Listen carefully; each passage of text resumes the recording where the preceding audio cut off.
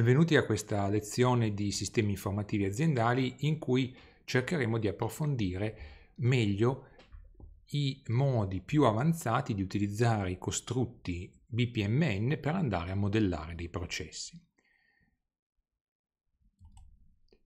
Uno dei punti fondamentali eh, che molto spesso succede di dover descrivere utilizzando un processo BPMN è quello di andare a fare dei cicli cicli che eh, conoscete tutti benissimo, sono anche eh, utilizzati moltissimo nei linguaggi di programmazione e come nei linguaggi di programmazione è possibile avere dei cicli eh, di due tipi che verificano la condizione per poter restare nel ciclo e quindi ripetere eh, le attività all'inizio oppure alla fine. Quello che eh, nei linguaggi di programmazione si chiama do while è il ciclo che permette di verificare una condizione alla fine del ciclo e quindi sostanzialmente esegue comunque almeno una volta eh, l'iterazione. Per cui il ciclo che vediamo scritto in eh, pseudolinguaggio in alto, eh, in cui abbiamo sostanzialmente eh, do e while in fondo con eh, un, una verifica, eh, un valore booleano more items che permette di eventualmente ripetere la lettura e la scelta, eh, può essere descritto in BPMN utilizzando le due attività read item e pick item e poi un nodo esclusivo che verifica se ci sono nuovi elementi e allora torna indietro, oppure se non ci sono altri elementi prosegue nel processo, in questo caso termina. Eh, per andare a eh, fondere i due cicli, quindi l'ingresso per la prima volta e il, la ripetizione quando è necessario, è necessario mettere questo eh, nodo di merge che permette di andare a fondere questo flusso entrante e quest'altro flusso eh, di ritorno. Per cui se io parto con eh, un token che entra e ovviamente prosegue, quindi fa read item, eh, successivamente fa il pick item eh, from warehouse, dopodiché va a verificare se esiste la condizione per andare a eh, ripetere, se ci sono nuovi elementi e riparte da capo. Riesegue il read item, eh, riesegue eh, il pick item e di nuovo si pone la domanda se esistono le condizioni. Se non esiste più la condizione, esce.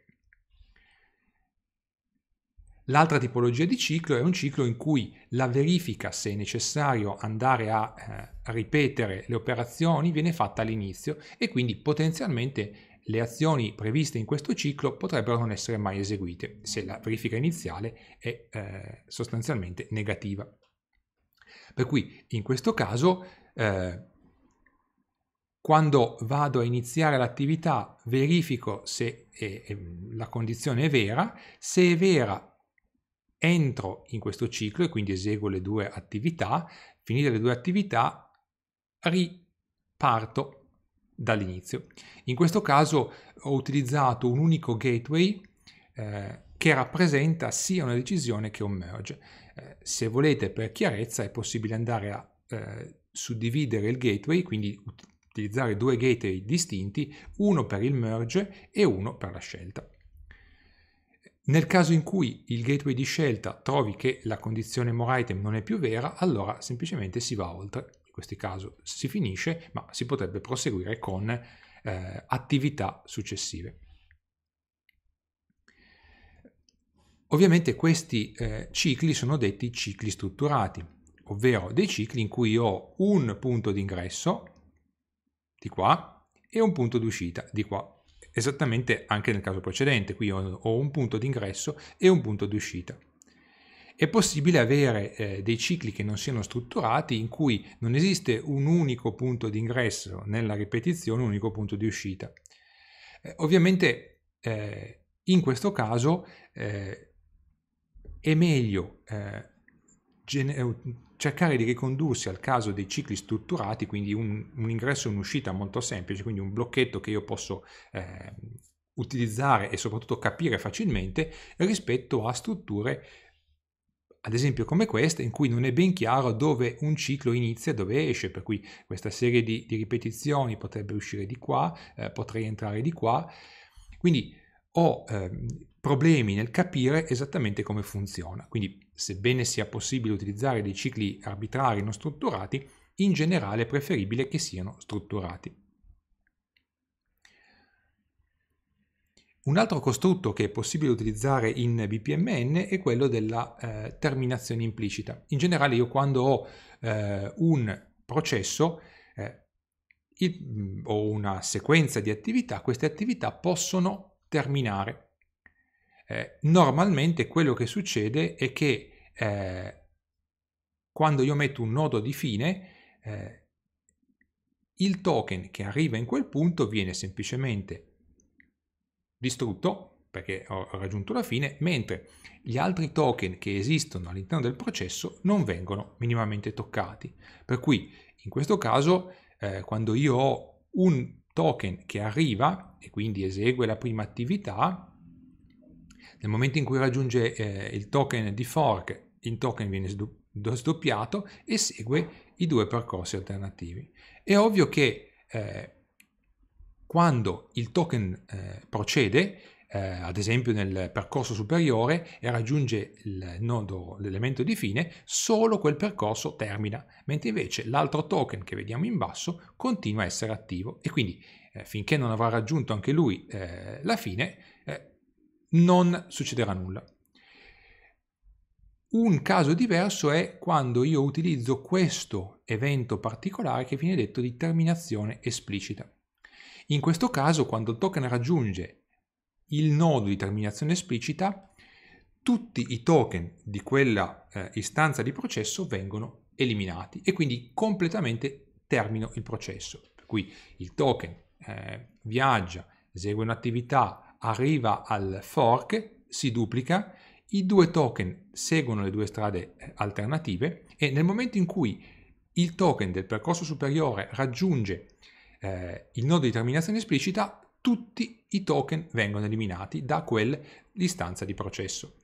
Attenzione, io posso avere più istanze di processo, ovviamente io elimino soltanto i token dall'istanza di processo in cui è stato raggiunto quel nodo di terminazione esplicita.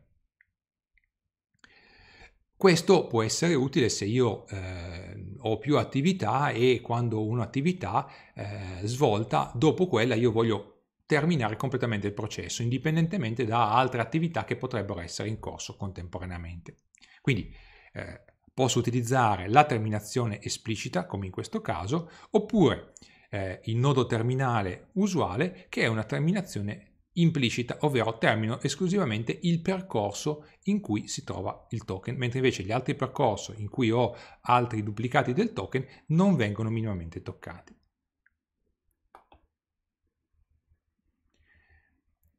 posso utilizzare la terminazione implicita ed esplicita per andare a costruire delle strutture di decisione molto particolari. Una di queste è quella che si chiama decisione implicita. Allora, la decisione esplicita è quella che abbiamo già visto, quindi quando io ho un gateway esclusivo, eh, arrivo a quel punto, il sistema informativo eh, che gestisce il workflow eh, capisce se la condizione eh, oggetto di quel gateway è verificata oppure no e quindi segue una strada piuttosto che l'altra. Quindi la informazione necessaria per decidere quale strada seguire è già nota a priori. È possibile che eh, in altri casi non sia noto all'inizio a priori quale percorso seguire.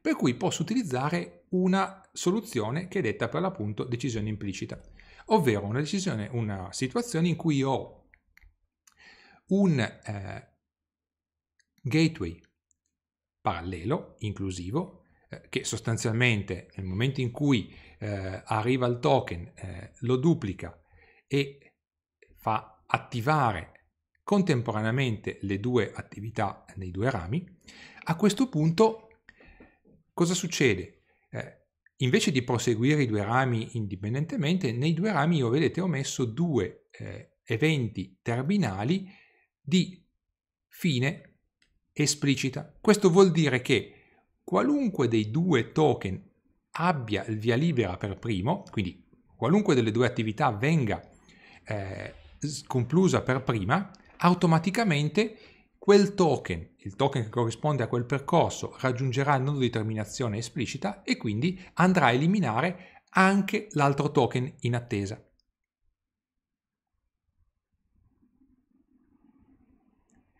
In questo caso cosa succede?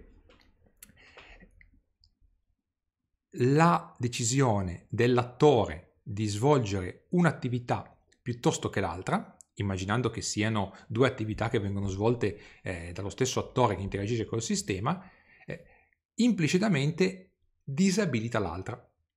Quindi la decisione non è fatta esplicitamente, quindi non è eh, l'attore che dice voglio fare eh, il quick delivery piuttosto che il normal delivery, ma bensì è l'attore che fa o uno o l'altro e nel momento in cui ne fa uno disabilita implicitamente l'altro.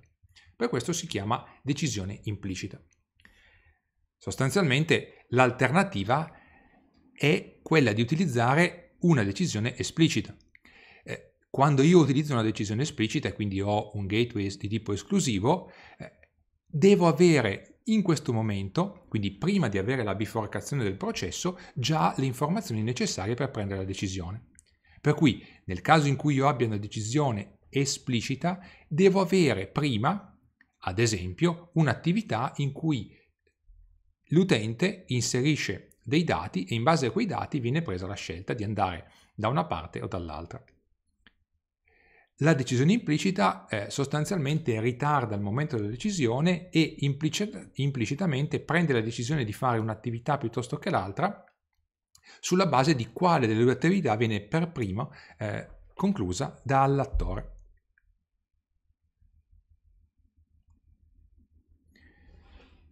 Un altro tipo di eh, attività è quella che si chiama attività complessa o sottoprocesso.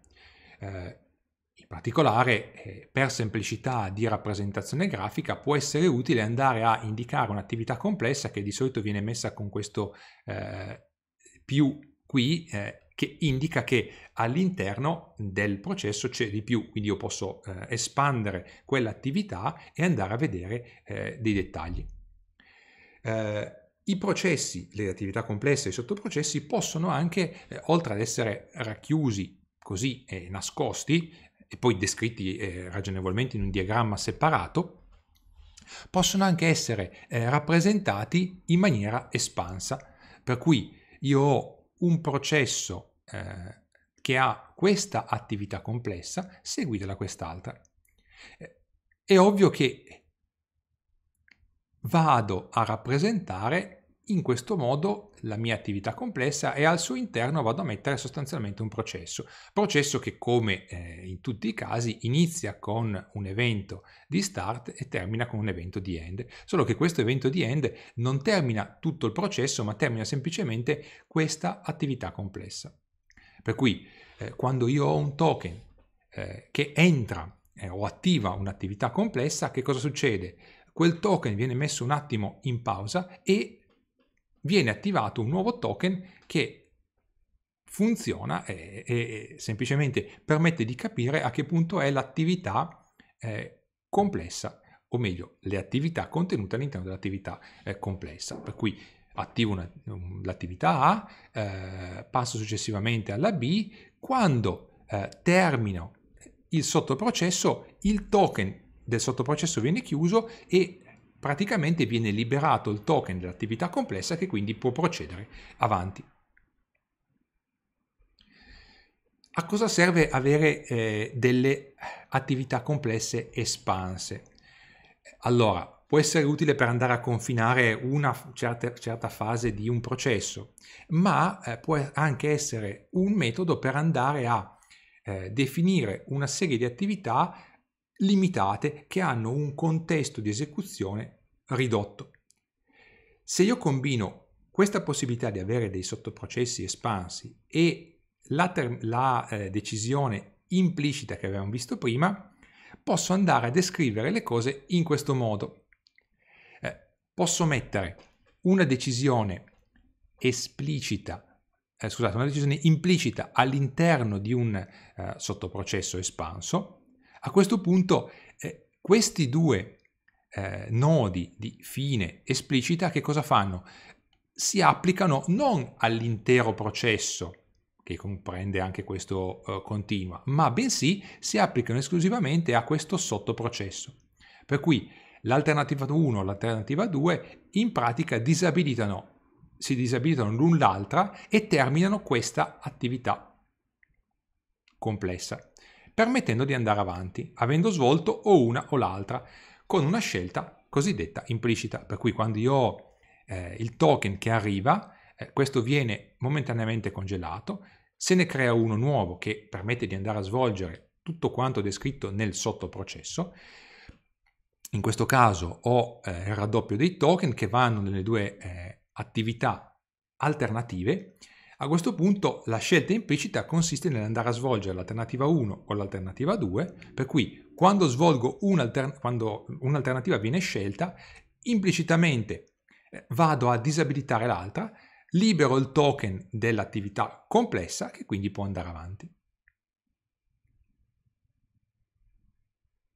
Quindi posso utilizzare eh, una eh, scelta implicita anche eh, come una fase iniziale di un processo.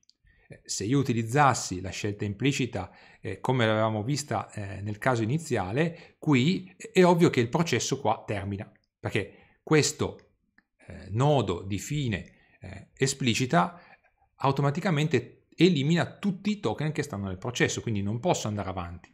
E se non ci fosse questo non riuscirei a disabilitare. Quindi eh, il, diciamo, il trucchetto di andare a mettere questa scelta eh, implicita all'interno di un eh, processo espanso mi permette di fare la scelta implicita e poi andare avanti col processo, che però sta a un livello eh, più elevato.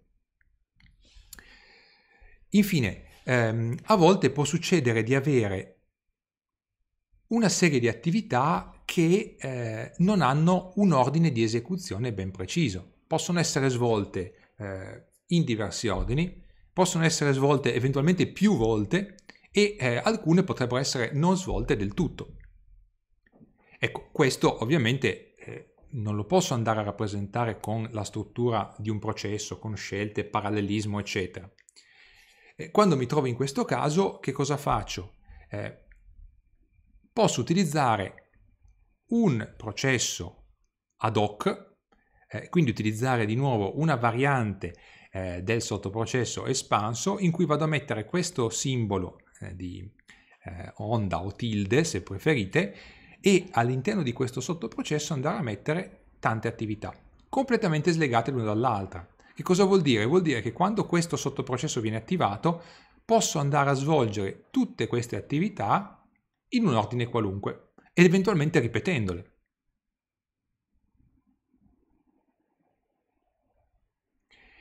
Infine, eh, quando io ho un'attività che può essere ripetuta più volte, posso metterla all'interno di un ciclo, eh, ma eventualmente posso anche andare a eh, indicarla con questo simbolo di eh, ripetuta dicendo che questo compito può essere, eh, viene ripetuto più volte. Eh, immaginate, non so, ehm, di dover andare a elaborare ehm, una serie di input. Ecco, io posso utilizzare questo repeating per andare a dire che ripeto l'attività per ogni input invece di andare a mettere tutta la struttura con eh, la scelta, se ci sono altri elementi, ripeto l'attività. Questo vuol dire che le ripetizioni vengono fatte una dopo l'altra. Un altro eh, modo di andare a rappresentare eh, il fatto che io possa avere eh, esecuzione di un'attività multiple è quello tramite eh, questi simboli che indicano che eh, quella attività viene svolta più volte e quindi ci sono più istanze di quell'attività. È come se ci fosse un parallelismo in cui attivo più eh, istanze. Eh, le istanze poi possono essere assolutamente indipendenti e quindi ho eh, queste strisce eh, orizzontali, oppure possono essere, come si dice, serializzate andando a dire che eh, ho più istanze di quell'attività e vengono svolte una dopo l'altra. Ovviamente in questo caso io non ho specificato diciamo, nel disegno grafico del processo quali sono i criteri con cui vengono fatti o quali molteplicità ci sono, eh, queste sono proprietà che io posso andare a specificare eh, all'interno dei dettagli di eh, questa attività. A questo punto introduciamo un nuovo elemento eh, dei processi BPMN che rappresenta gli eventi. Finora abbiamo visto semplicemente due tipi di eventi, eh, quello di inizio e quello di fine. In realtà c'è un altro tipo di evento che è quello intermedio. E inoltre eh, non solo ho la possibilità di avere eventi intermedi, ma ho anche diverse tipologie di eventi, quindi inizio, intermedio e fine, ma anche messaggi, timer, errori, eccetera, eccetera. Vediamo un attimo come funzionano le diverse tipologie di eventi, oltre alla loro posizione inizio, intermedio e fine. Iniziamo da quello forse più semplice da capire, è gli eventi di tipo timer. Okay? Eh, un evento di tipo timer permette di eh, far attivare un token o eh, farlo avanzare quando eh, si raggiunge una specifica scadenza. Per cui l'evento di tipo start timer permette di andare a attivare un processo eh, in una certa, a un certo istante oppure a una certa data eh, con un certo intervallo, ad esempio ogni settimana, ogni venerdì, oppure come eh, eh, intervalli eh, ricorrenti, quindi ogni 10 minuti, ogni giorno, eh, ogni venerdì, eh, ogni fine mese, eccetera. Quindi questa attività di clean up verrà eseguita ogni venerdì. Attenzione che eh, uno start timer prevede di conoscere in anticipo e che sia ben predefinito eh, la scadenza con cui far partire il processo. Okay? Eh, quindi è un tempo noto a priori al sistema. Non posso dire quando l'utente è pronto, perché quando l'utente è pronto non è un tempo ben definito. Okay? Quando l'utente è pronto eh, viene modellato con un semplice eh, evento di inizio in cui l'utente avvia eh, l'istanza di processo quando vuole, tra virgolette quando è pronto. Posso anche avere eh, degli eventi di tipo intermedio timer. Quindi cosa succede? Succede che quando un token arriva a un evento intermedio di tipo timer, eh, il token viene bloccato e viene liberato quando si raggiunge la scadenza.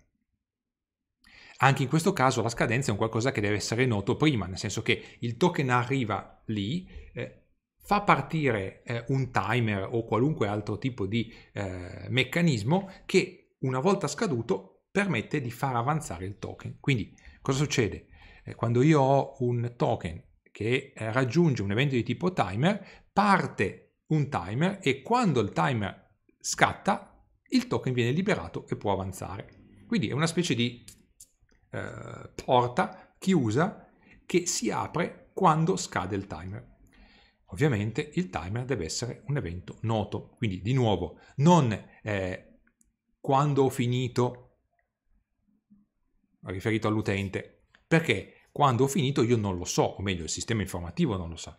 Quindi devo andare a utilizzare un una scadenza che sia nota a priori, ovvero nota almeno nell'istante in cui io arrivo, eh, il token arriva in questo eh, evento intermedio di tipo timer.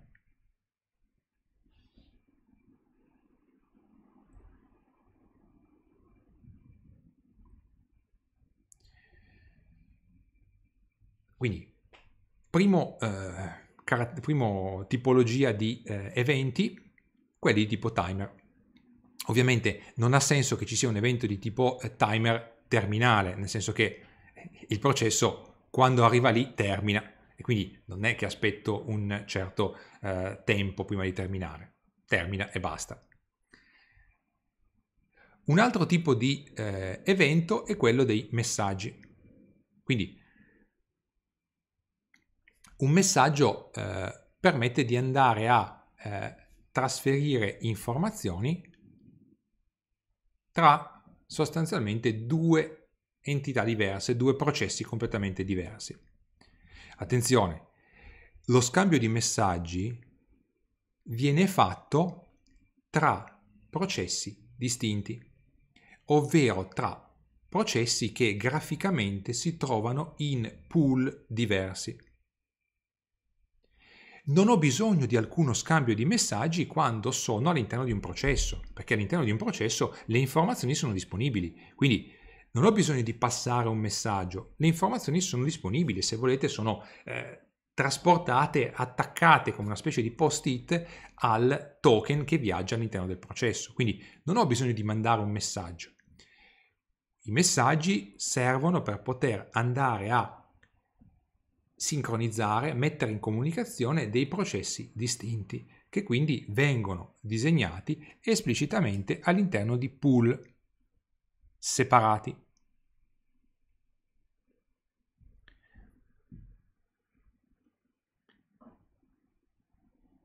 Io posso utilizzare eh, vari, varie strutture eh, che si scambiano messaggi. Quindi, ad esempio, in questo caso vedete che ho due processi distinti e ho un messaggio che parte, quando ho la ehm, letterina scura significa che questo è l'invio di un messaggio, quando ho la lettera chiara significa che questo è la ricezione di un messaggio. Quindi un token che arriva in un ehm, evento di invio messaggio praticamente scatena l'invio del messaggio e prosegue un evento di tipo ricezione del messaggio sostanzialmente si blocca e viene sbloccato nel momento in cui il messaggio viene ricevuto. Okay? Mentre nel caso del timer il token si blocca e viene, scat- viene eh, liberato eh, nel momento in cui scade eh, il timer, nel caso del messaggio il token viene liberato nel momento in cui arriva il messaggio. Eh, questo mi permette di andare a realizzare eh, una struttura eh, che si chiama scelta differita. In particolare eh, per fare la scelta differita in BPMN posso utilizzare questo eh, gateway particolare che si chiama Event Based Gateway. L'Event Based Gateway sostanzialmente viene seguito da più eventi eventualmente di tipo diverso. Okay, in questo caso ho una ricezione di un messaggio e un eh, evento temporale. Potrei avere tante ricezioni di messaggio, tanti eventi temporali, quello che volete. Eh, la regola che eh, sostanzialmente è legata a un eh, event gateway è essenzialmente quella di essere seguito da eventi. Quindi io non posso mettere eh, un'attività come proceed eh, dopo un event gateway, ma devo avere esclusivamente degli eventi. Perché? Perché questo eh, event based gateway sostanzialmente che cosa fa? Va a considerare tutti gli eventi, va a considerare tutti gli eventi e attiva il primo, il percorso che corrisponde al primo evento che avviene. Quindi in pratica che cosa succede? Succede che eh, quando il token arriva a questo event gateway, questi eh, eventi vengono abilitati, quindi parte un timer e si, ci si mette in attesa del messaggio, il primo dei due praticamente disabilita l'altro. Ok? Quindi è quella che si chiama nel gergo una scelta differita, ovvero la scelta non è fatta sulla base di informazioni che ho prima, come nel caso eh, della scelta esplicita, il gateway esclusivo. non è fatta sulla base implicita di quale attività viene fatta prima o dopo, ma è sostanzialmente eh, differita a quale evento avviene prima. Quindi il primo evento determina quale percorso andrò a scegliere. Quindi se prima arriva la, il messaggio di conferma, andrò a seguire questo percorso. Se invece prima del messaggio di conferma arriva il timeout, ovvero l'istante in cui scade il timeout, allora andrò a seguire questo percorso. Per cui posso andare a avere eh, delle eh, situazioni di coordinamento tra diversi processi. Attenzione, ricordiamoci che i messaggi servono esclusivamente per andare a coordinare diversi processi. Per cui eh, io ho in questo caso eh, un processo di aste, ad esempio, in cui ho chi vuole fare eh, un'offerta che segue quest'altro processo. Quindi questo è il processo principale di gestione dell'asta. Questo in alto invece è il processo di chi vuole fare eh, l'offerta, quindi l'offerente. Che cosa succede? Che eh, quando inizio un processo di asta, in pratica vado a eh, abilitare, vado a aprire la, sostanzialmente a, fare, a pubblicare la, l'offerta, quindi il, ad aprire l'asta, dopodiché ho un eh, event-based gateway che mi abilita questi due percorsi e questo o questo verranno eseguiti in base a quale tra i due arriva per primo. In parallelo io ho un offerente che prepara l'offerta, la invia e poi aspetta una risposta. Quindi eh, quando l'offerta viene inviata, eh, il processo di gestione dell'asta la convalida e manda una risposta in cui dice sostanzialmente se l'offerta è valida oppure no. E a questo punto eh, chi ha, ha, ha mandato l'offerta vede la conferma che la sua offerta è andata a buon fine. Se è andata a buon fine, sostanzialmente ha finito, altrimenti eh, possiamo immaginare che riparta, prepara un'altra offerta e la rimandi. Eh, quando eh, viene inviata eh, la risposta che dice che l'offerta è stata convalidata o meno, quindi comunque l'esito eh, della validazione dell'offerta, eh, questo processo torna indietro e quindi riabilita il nostro gateway eh, basato sugli eventi. E quindi di nuovo mi metto in attesa di un messaggio oppure della scadenza eh, di un certo timer. Il timer ragionevolmente è il timer che mi definisce la, eh, il tempo limite per sottomettere delle offerte. Quindi tutte le offerte che arriveranno prima del tempo limite scateneranno questo eh, evento eh, e quindi faranno avanzare il token, faranno fare una validazione, eh, permetteranno di andare a, mm, rispondere e poi ritorneranno qui a riabilitare la ricezione di altri messaggi ma anche la scadenza del timer. Nel momento in cui il timer scatta non è più possibile ricevere dei messaggi perché il token va avanti da questa parte e quindi qui ci sarà la valutazione delle offerte e la scelta del vincitore dell'asta. Ovviamente io posso avere più offerenti che partecipano al processo. Quindi questo processo può, essere, può avere molte istanze che interagiscono con una stessa istanza eh, del processo di gestione delle aste. Okay? E l'interazione avviene tramite messaggi. Il messaggio presuppone che chi invia il messaggio sappia chi lo riceverà. Quindi quale istanza di processo andrà a riceverlo. Okay, in questo caso eh, io so che sto preparando un'offerta per, un certo, ehm, per una certa asta e quindi so a chi, a quale processo inviarla e qui so a chi rispondere perché è lo stesso che mi aveva dato l'offerta prima. Può succedere eh, di avere casi in cui io non so esattamente a chi inviare un messaggio, eh, per cui esistono degli eventi di tipo eh, segnale eh, che eh, consentono di andare a eh, inviare una notifica a chiunque sia interessato. Vediamo il caso precedente eh, del processo. È ovvio che io quando apro eh, un'asta ecco, potrei inviare una notifica eh, dicendo che l'asta è aperta.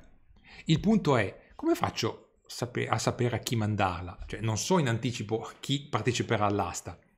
Okay? L'asta per l'appunto è qualcosa di aperto e quindi l'informazione viene mandata a tutti. Per cui questo è un caso specifico in cui io potrei mandare un segnale. Per cui posso andare a ehm, complicare un pochettino il processo che abbiamo visto prima andando a mettere anche eh, dei segnali. Segnali che per l'appunto sono inviati a chiunque. Per cui, eh, di nuovo, il processo di preparazione e di gestione del, del, dell'asta. Avvio il processo, apro eh, l'asta e mando, di nuovo vedete il triangolino scuro corrisponde all'invio di un segnale, eh, un segnale che informa tutti gli interessati che l'asta è aperta.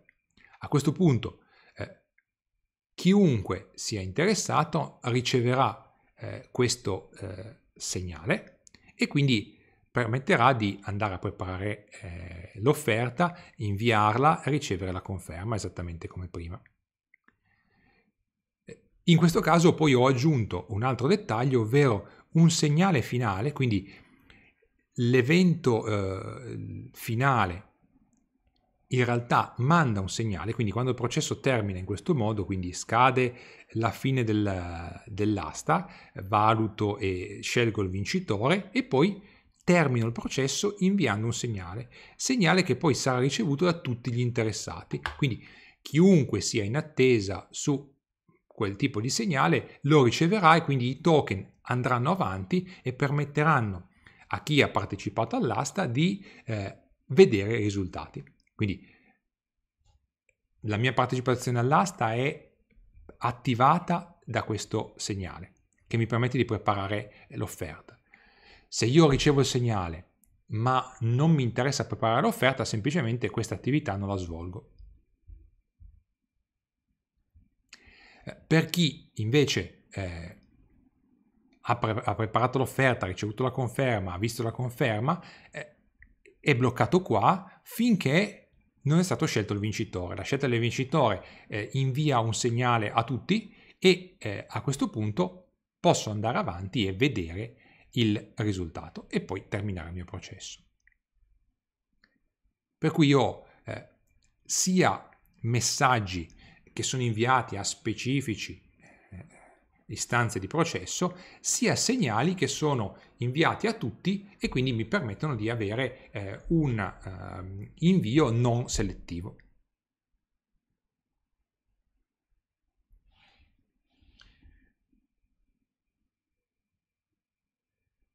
Ulteriore distinzione eh, necessaria quando andiamo a parlare di eventi è quello tra eventi sincroni e asincroni. Eh, tutti eh, gli eventi che abbiamo visto prima, sia i messaggi che i segnali, sono di tipo sincrono, ovvero eh, il ricevente all'interno del processo ha un momento in cui si blocca e aspetta per l'appunto sincronamente di ricevere il messaggio o eh, il segnale. In alcuni casi invece eh, non è possibile avere un istante preciso in cui eh, un segnale possa essere ricevuto, quindi io non so esattamente quando andare a mettermi in attesa. Per cui questi segnali sono detti asincroni, ovvero sono dei segnali che possono avven- arrivare in qualunque momento durante l'esecuzione, ad esempio, di un'attività.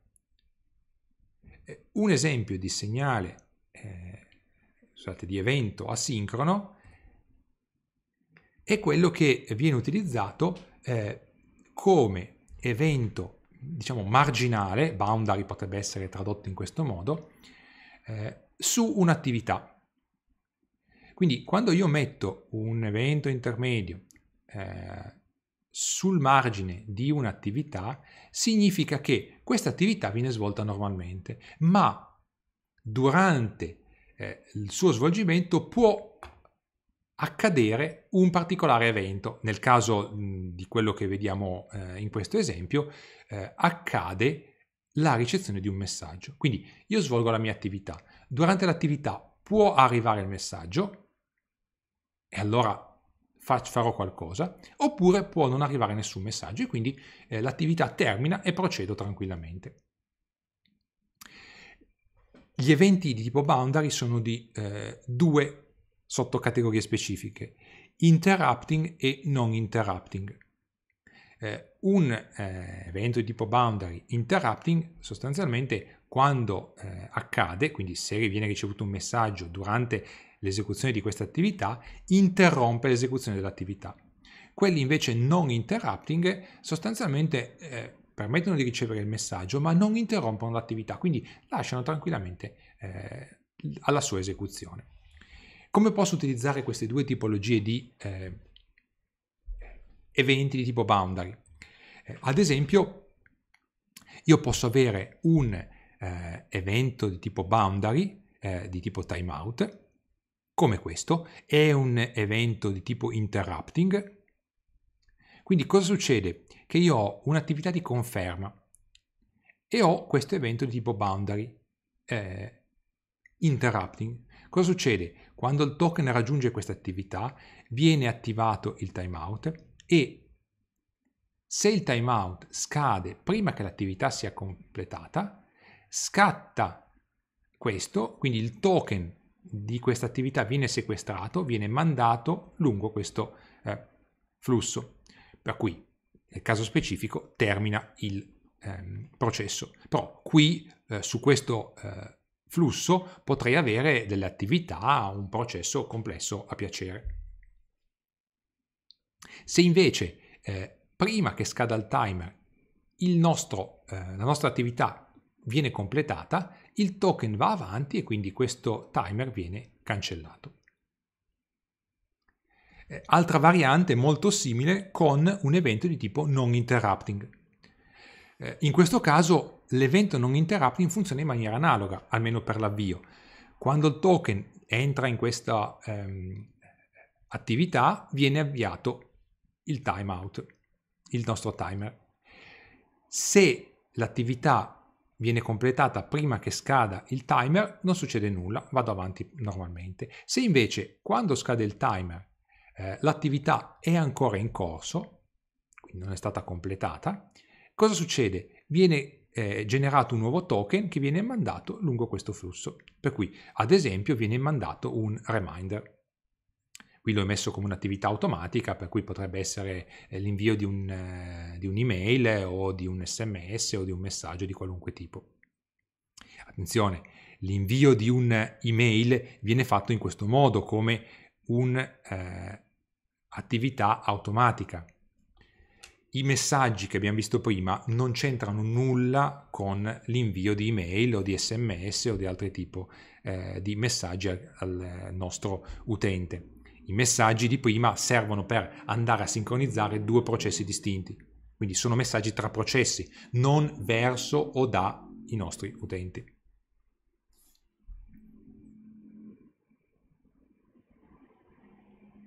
Eh, tra l'altro, quando io ho un eh, evento di tipo boundary, posso anche eh, proseguire il mio processo facendo delle azioni eh, alternative. Per cui, eh, ad esempio, eh, questo è un evento di tipo boundary, di tipo eh, ricezione di messaggio, interrupting, per cui se durante l'attività di preparazione del documento arriva un messaggio che il documento è già presente, per cui magari qualche altro processo mi segnala che il documento è già eh, pronto, che cosa faccio? Interrompo questa attività e seguo questo flusso in cui vado a recuperare l'elemento preesistente, il documento preesistente e poi mi ricongiungo con questo nodo di merge, con questo gateway di merge al flusso del processo principale. Quindi io qui arrivo sia nel caso in cui abbia preparato il documento, sia nel caso in cui durante la preparazione del documento arrivi un messaggio e quindi io poi successivamente faccia eh, il eh, recupero eh, del, del documento preesistente. A questo punto in ogni caso raggiungo questo nodo di merge e vado avanti con la revisione del documento.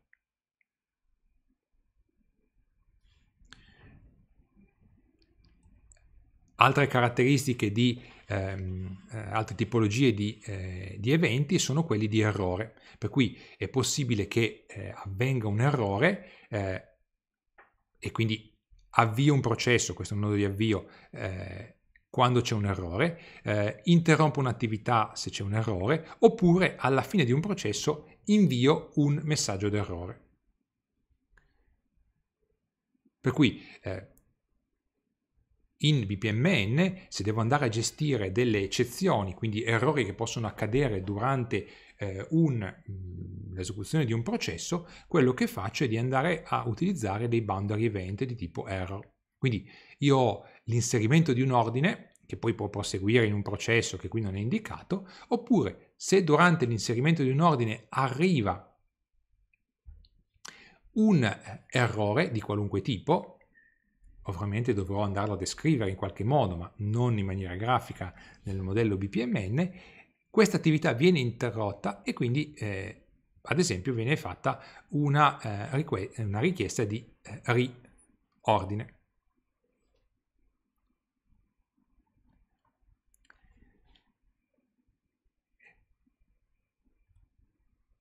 Altra sintassi che io posso utilizzare per gestire eh, degli eventi di tipo asincrono. Quindi, oltre ai boundary event, eh, quello che posso fare è di andare a utilizzare questi sottoprocessi di tipo evento. Quindi, quando ho un processo eh, di tipo eh, evento, che cosa faccio? Eh, vado a utilizzare questa notazione, quindi il bordo è tutto tratteggiato, e sta a indicare che all'interno di questo sottoprocesso espanso ho la gestione di eventi, eventi asincroni che possono accadere durante una qualunque delle attività del processo. Quindi nel caso specifico eh, io qui ho un evento eh, non interrupting di tipo timer, però ovviamente potrei avere eh, degli errori, potrei avere dei messaggi. Eh, se l'evento specifico avviene durante il processo, nel caso eh, di questo esempio, se il timer scade prima che il processo sia completato, che cosa succede? È un evento non interrupting, quindi l'attività non viene minimamente eh, disturbata, ma semplicemente viene inviato un reminder. Se questo evento fosse di tipo interrupting, che cosa succede? Che qualunque attività io stessi eseguendo quando è scaduto il timer, l'attività viene interrotta e si esegue questo sottoprocesso di eh, gestione degli eventi asincroni. Quindi in questo modo io posso andare a scrivere un processo molto molto semplice, lineare, senza dover andare a verificare periodicamente, ad esempio dopo ogni attività, se c'è una situazione particolare e andare a gestire le situazioni anomale, ad esempio scadenze eh, che arrivano piuttosto che messaggi che arrivano da altri processi o errori eh, con questi processi di tipo asincrono.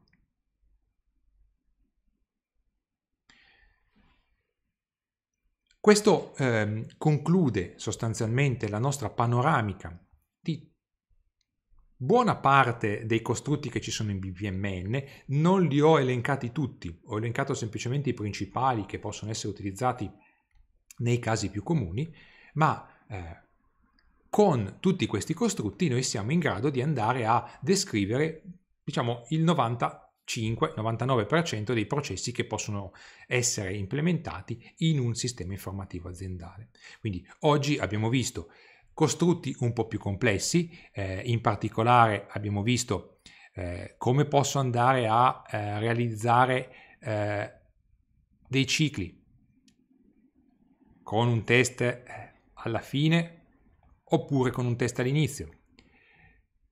E abbiamo visto come posso utilizzare eh, la terminazione esplicita per andare a fare quella che è una decisione implicita, quindi la prima attività che scelgo è quella che determina il percorso che sto scegliendo, eh, in alternativa a quella che è una scelta esplicita, dove ho un'attività precedente, eh, il mio gateway di scelta in cui vengono acquisite delle informazioni per andare a seguire un ramo piuttosto che l'altro.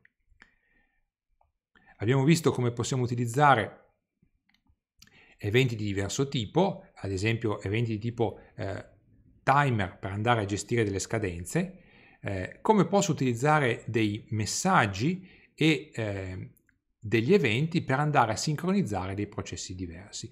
Ricordatevi che i messaggi invio ricezione eh, e i segnali di invio e ricezione riguardano esclusivamente delle informazioni che circolano all'interno del sistema informativo e che permettono di sincronizzare diversi eh, processi. Non riguardano minimamente messaggi di tipo email o messaggi di tipo sms che vengono inviati agli utenti. Quelli sono fatti tramite delle normali, regolari attività eh, automatiche.